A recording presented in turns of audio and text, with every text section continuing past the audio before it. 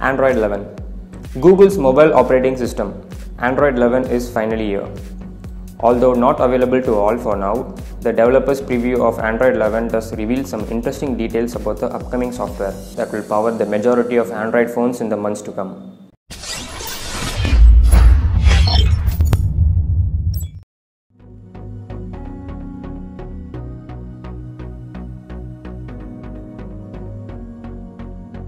Chat bubbles.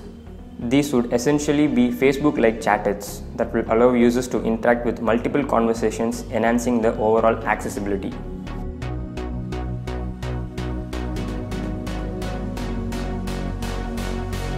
New conversations.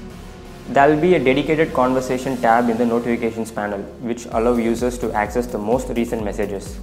This will also act as an improved way to respond to messages from the notification panel as it will also allow users to send images directly from the notifications.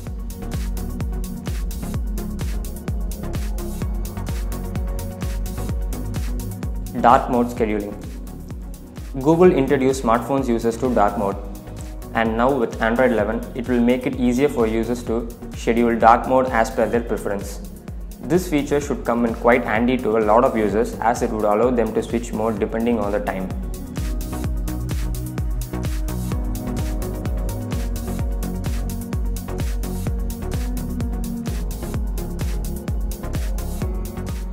Privacy and permissions.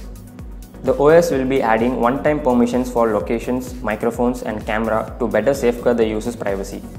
Google explains that with the feature in place.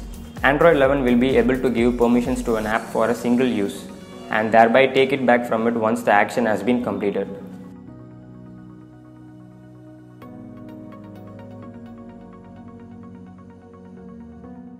Airplane mode without Bluetooth. Devices will now be able to access Bluetooth even if they are in airplane mode. This feature has been one of the most requested ones in the recent past and will now allow to the continued usage of the device's Bluetooth chip with connected devices even when you go into airplane mode. Support for 5G and foldable phones.